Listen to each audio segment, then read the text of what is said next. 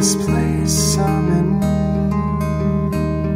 doesn't feel like home anymore.